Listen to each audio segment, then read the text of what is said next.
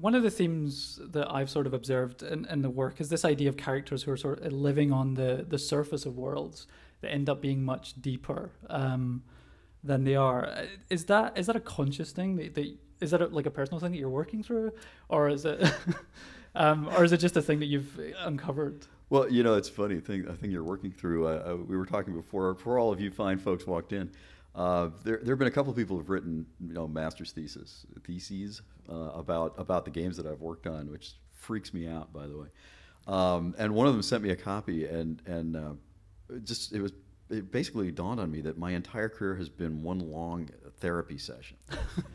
you know, uh, no, it's like this. This guy pointed out a couple things that I do know. Every game that, almost every game I've worked on, has uh, an alternate reality. It has, you know, a cyberspace or. Uh, I'm, I'm sorry, Disney, but the all, you know when you eat the mushrooms in Underworld, fun things happen. You know, um, and at every game, there's a dream state in Wings of Glory, a game that no one remembers. But uh, anyway, every game has a dream state or an alternate reality, which which I, I, I knew that that that I've done very consciously. Um, and every game has a basketball court where you can actually shoot a basket. Um, see if see if you can find them all, collect them all.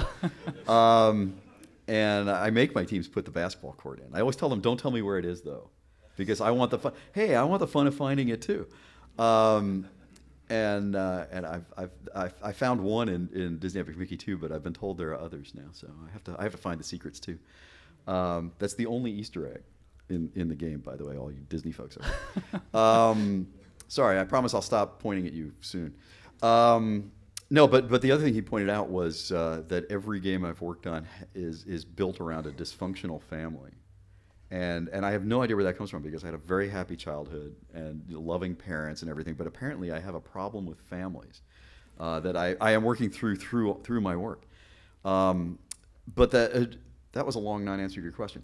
Uh, the the, okay. the actual the actual answer. Uh, no, the, I I I'm a huge believer in the idea that games can can be as compelling uh, as as any medium in terms of our ability to tell stories uh, we tell them differently, and we tell different kinds of stories, and, and I'm happy to talk about that if you want. But um, I, I, think a story can't just be save the world from alien invasion. It, it can't just be you know rescue the princess. If you do that, yeah, I mean, there's no point. It just, it's stupid.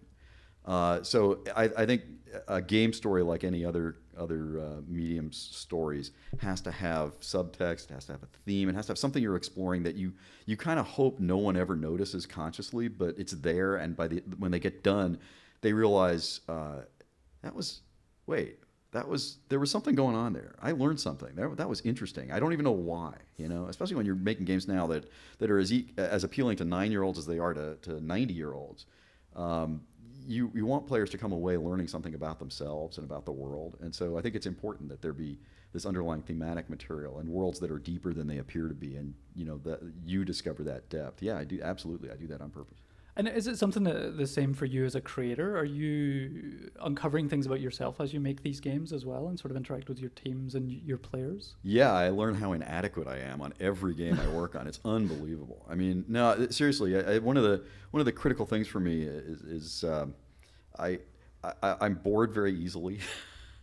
Uh, and so I, I always have to make sure that, that there's at least one thing I just have no idea how to do in every game I work on. There's got to be one thing that, that no one in the world's ever seen before. Uh, and it's because I need that uh, that possibility of failure. I mean, it's not just me. I actually think that I think teams need that. Mm-hmm. Uh, I, I, I, will leave it to others to execute well against well understood problems. I just that's what what could possibly be more boring than that, you know.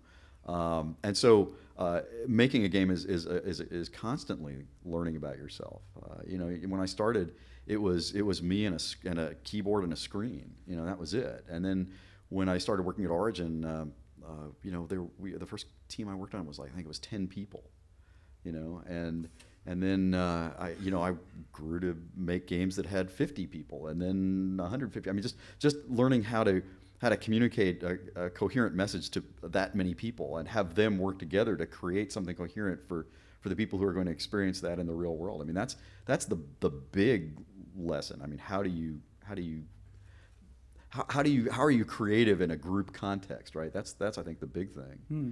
uh, for me anyway. And and you're still solving those problems, I assume, because the teams Oh, are just going to keep getting no. bigger. Oh my God! I mean, if, it, it, I, I always say, I mean, it's not just me. You know, you, you're you're going to make new mistakes on every game, right? I mean, you, you, try not to make the ones you made last time. Um, and and but nobody asked me about the camera in Disney Epic Mickey. Okay. So tell us about the Uh, camera and Epic Mickey. Uh, no, you, you want to make new mistakes with, with every game, and and that's that's the thing. I mean, at, the end of the day, it's, it's people are so afraid of failure. I mean, even people on my team, I, I constantly have to remind everybody, you know, what's the cost of failure when you're a game developer? Okay, now I mean, I, I don't want to be too flip about this because there are people with mortgages and families, and you know, jobs are on the line. But at the end of the day, we're not curing cancer here. You know, we're providing entertainment and maybe some some enlightenment for people, but if, so you fail. Oh my gosh, I lost a multi-billion-dollar company some money. Whatever. I mean, I mean, I might be the one that says it's okay, Disney, for that one. well, but I mean, look, when I was an independent, you know, I I was it, uh, the, the thing that when I when I left Ion Storm uh, and Eidos I, to to do Junction Point as an independent startup. It, it was it was pretty funny. I left with the, the I had a very specific thing I wanted to do, and it was going to change the world, and it was going to be amazing. And uh, about three weeks after I, I started Junction Point, I realized I mean I had already fallen into how do I make the mortgage next month? How do I make the rent? How do I make payroll? Oh my God, I've just got to survive. I got to survive. I got to survive. Um, you know, but even there, the, the cost of failure was okay. I'll go get a job. You know, oh, I'll open a bookstore or something or whatever. Like a proper job. Yeah, I mean, games. the- every, I'm sure everybody in this room, if, if, if you're here, you've probably read at least one interview with me, which means you've heard me say "fail gloriously," right? I mean, y- y- your entire life. I mean, I, I'm I'm probably the oldest person still making games, right? And uh, at the end of the day, I've I've now I'm working on I. I, I, I promised myself I was going to count so I could give an actual answer. It's either 22 or 23 games that I've worked on now. So in 30 years, I've made 22, let's call it 23 things, give myself the benefit of the doubt. An entire life summed up in 20 something things. Let's call it 30 things by the time I, I shuffle off this mortal coil. Damn, they better all have a chance of being great. I would rather fail at something that's really cool. You know, it's not like I'm, I'm building widgets every day. Uh, my life is my work, and, and I- I've got, I've got 30 chances to get it right.